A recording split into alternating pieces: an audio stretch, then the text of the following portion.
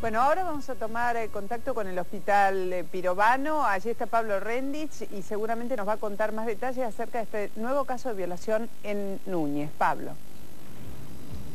De esta noticia, Mónica, buenas noches, que realmente sorprende. Otra violación en el barrio de Núñez. Esta vez estamos hablando de la calle Arribeños al 2900, donde anoche una chica que llegaba de estudiar de la casa de una compañerita, llegaba a su vivienda que estaba ubicada en un primer piso de un edificio de departamentos, cuando fue sorprendida por un sujeto armado que la llevó hasta un descarpado eh, cercano y allí abusó de ella. Se están llevando a cabo las primeras actuaciones, eh, fue traída aquí hasta el hospital Ignacio Pirovano, esta chica de 17 años, para atenderla, para certificar efectivamente la violación y demás eh, trámites obligatorios que se tiene que realizar en estos casos. Tuvo que comenzar realizando la denuncia, está acompañada por un móvil y por efectivos de la comisaría 35 que están aquí trabajando en el lugar, acompañándola, también dándole contención en estos primeros trámites que se realizan. Eh, vale resaltar nuevamente violación